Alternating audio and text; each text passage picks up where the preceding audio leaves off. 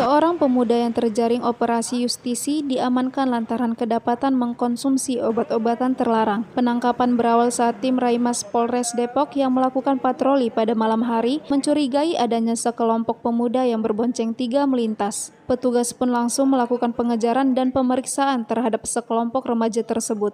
Satu persatu pemuda ini dilakukan pemeriksaan oleh tim Raimas Ribon, Polres Metro Depok, Hasilnya dari pemeriksaan tersebut, petugas mendapati obat terlarang di dalam saku celana salah seorang pemuda. Pemuda tersebut pun mengakui bahwa dirinya mengkonsumsi obat terlarang sebagai penghangat tubuh dan penghilang rasa pegal.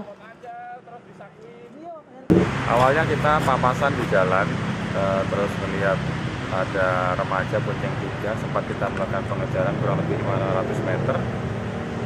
Setelah itu kita periksa,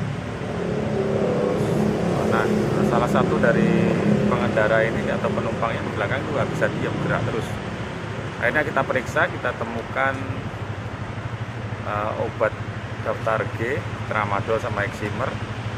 Alasan anak tersebut konsumsi adalah katanya untuk menghilangkan dingin, untuk mengangkat badan, tapi bilang lagi katanya untuk uh, kalau mau ngamen dia konsumsi dulu.